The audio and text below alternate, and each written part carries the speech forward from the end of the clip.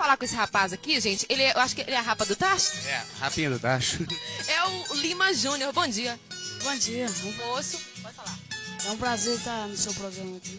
Pois é, tô sabendo. Você toca viola, hein, menino? Video, viola e guitarra também, não é isso? É, mas a gente foi um pouquinho de tudo, né? Como é, é acompanhar os irmãos aí, os mais velhos?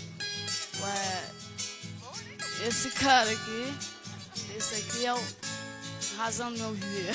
Nossa, gostei, tá vendo? Isso que é um irmão reconhecer e valorizar o outro. Por isso que é um trabalho em família que dá certo, tá vendo? Tudo que é em família tem, só tem que dar, tem a dar certo, não é isso?